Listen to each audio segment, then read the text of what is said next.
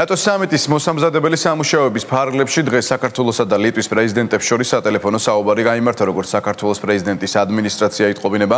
გიორგი მარგველაშვილმა დალია გრიბაუსკაიტეს მადლობა გადაუხადა იმ ხარდაჭერისათვის, რომელსაც ლიტვა საქართველოს მიმართ ტერიტორიული მთლიანობისა და სუვერენიტეტის ასევე ევროპულ და ევროატლანტიკურ სტრუქტურებში ინტეგრაციის თვალსაზრისით გამოხატავს. ორი ქვეყნის პრეზიდენტმა უკრაინაში შექმნილ ვითარებაზეც იმშელეს. Thank you.